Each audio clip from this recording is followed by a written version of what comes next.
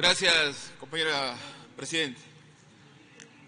La problemática, obviamente, que todo el país, todo el pueblo ecuatoriano, enfrentamos este problema de la contaminación. Pero en Santo Domingo se ha vuelto extremadamente catastrófico porque se presenta esta contaminación todos los años, todos los años. Y no vengan a decir que no ha habido inversión. En estos 10 años se han gastado más de 140 millones de dólares para el tratamiento de agua, del, agua potable y alcantarillado en Santo Domingo de los Áchilas. Escúchenme bien, 140 millones de dólares. ¿Y qué ha pasado con esa plata? ¿Dónde están las obras? Estoy hablando solamente para el tratamiento del sistema de agua potable. No estoy hablando de todo el presupuesto que han manejado en estos 10 años. No, eso es otra cosa diferente. Santo Domingo enfrenta problemática, obviamente, ha crecido, tiene una población de más de 500 mil habitantes, ¿verdad? Pero, ¿qué están haciendo las autoridades competentes? Hablar aquí nomás en la asamblea parece fácil.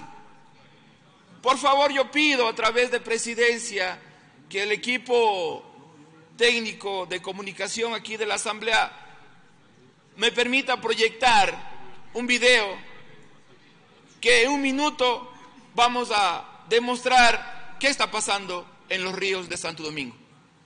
Por favor en el río Chihuilpe. Regina Calazacón fue la que observó cómo una mancha negra cubría el afluente y dio aviso a los habitantes de la comuna. Vi que estaba agua sucio, como lodo negro bajaba, pero más después ya murieron los pescados y cómo están, ahora están viendo cómo está todo. Nosotros vimos lo que está, todo el río está contaminado y todo el pescado está muerto hasta ahora. Y ahora ya no podemos ni lavar, Mateo Calazacón, dirigente de la comuna Chihuilpe, señala que las autoridades del Ministerio del Ambiente ya tomaron muestras de la contaminación. Sin embargo, no se le ha dado el seguimiento correspondiente porque no han existido informes. Exigimos y sobre todo estamos indignados con las autoridades, ¿no? que solamente dicen, bueno, que están haciendo ya, digamos, o sea, la mitigación en este caso, pero la realidad es otra, ¿no? No se ve nada absolutamente y nosotros mañana vamos a tener una reunión comunal en donde tomaremos medidas drásticas, diríamos así mismo, y tomaremos asimismo acciones. Se presume que los peces han muerto debido a la presencia de residuos de aceite, lo mismo que ocurrió en el río Poste. Esto se pudo comprobar al presionarlos por el color negro observado en su interior. Había un compromiso hace unos dos años, un año y medio, también pasó con el mismo caso. Entonces queremos algo como respeto.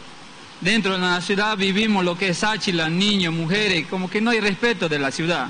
Aquí eh, refiriendo es alcalde, los medios ambientes, tiene que hacer o que venga ellos a ver cómo está la situación de la comunidad. El río Chihuilpe se alimenta de otros afluentes como el Pove y el Code, aguas residuales descargadas de la ciudad, que finalmente llegan a desembocar al Baba, siendo un río en donde se hace turismo.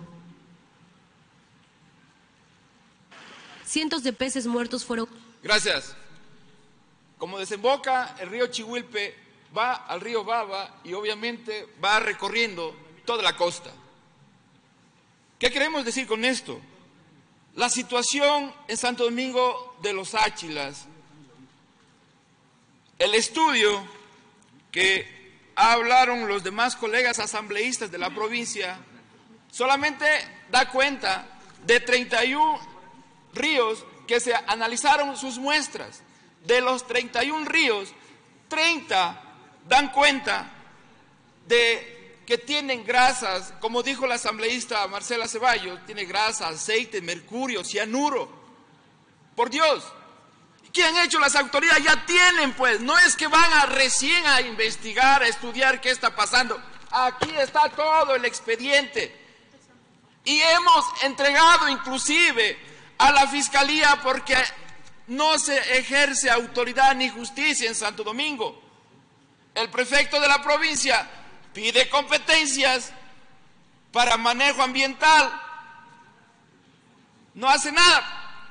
Y es uno de los primeros que contamina en la provincia porque tiene la, la prefectura de Santo Domingo de los Áchilas, tiene alrededor de siete proyectos de explotación de material pétreo sin licencia ambiental. Sin licencia ambiental. Pero claro, ¿qué va a hacer la autoridad del medio ambiente en Santo Domingo de los Áchilas? Nada, porque son de la misma gallada, porque son de la misma familia. ¿Qué van a sancionarse entre ellos, pues?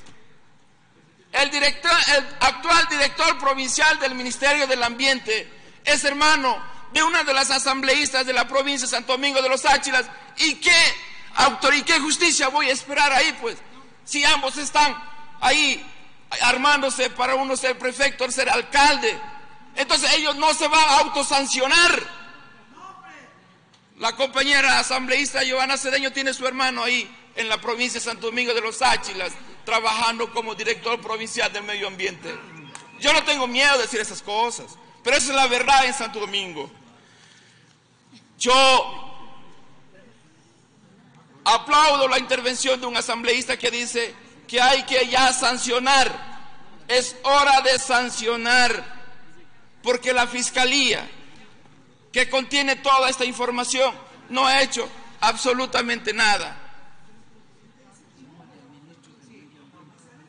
Hemos hecho todas las acciones necesarias, legales, pero no pasa absolutamente nada. Entonces, ¿es necesario tratar el tema de la contaminación en Santo Domingo de los Áchilas, de sus ríos? Sí, es necesario tratar en esta asamblea, porque ya no tenemos a dónde más acudir.